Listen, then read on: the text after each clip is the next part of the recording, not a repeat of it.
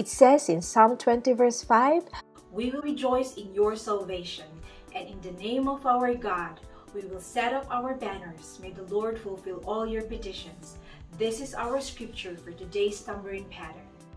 Before we move on to the pattern, let us review the key directions for dance and tambourine movement. Work on your tambourine by imagining a big square in front of you. On your left, left diagonal front LDF, left diagonal back LDB. On your right, right diagonal front RDF, right diagonal back RDB. And the last one is the center front. So for example, when I say tap your tambourine at LDF, that means you tap your tambourine at the left diagonal front. This is how we are going to tap our tambourine.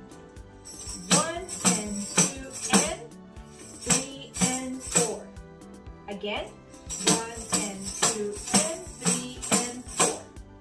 Banner A starts by doing a step ball change while tapping your tambourine at LDB, count 1 and 2, tap at the center, count N, tap at RDB, count 3 and 4. Swing the left hand together with your right hand holding the tambourine going upwards, following a figure of 8, count 5, 6, 7, 8. Double tap at LDF, count 9 and 10 N. Double tap at RDB, count 11 and 12 N. Do a spin to your left side and zip your tambourine up and down. Now it's your turn to practice the pattern. Ready? Go. 1 and 2 and 3 and 4, 5, 6, 7, 8, 9 and 10 and 11 and 12 and 13, 14, 15, 16.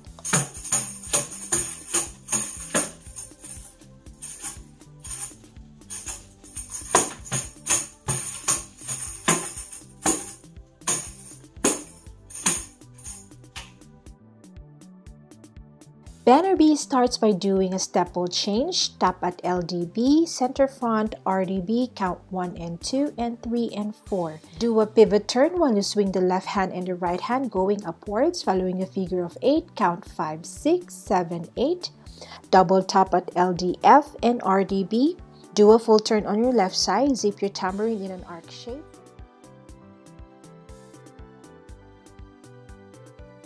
Now it's your turn to practice the pattern. Ready? 1 and 2 and 3 and 4, 5, 6, 7, 8, 9 and 10 and 11 and 12 and 13, 14, 15, 16.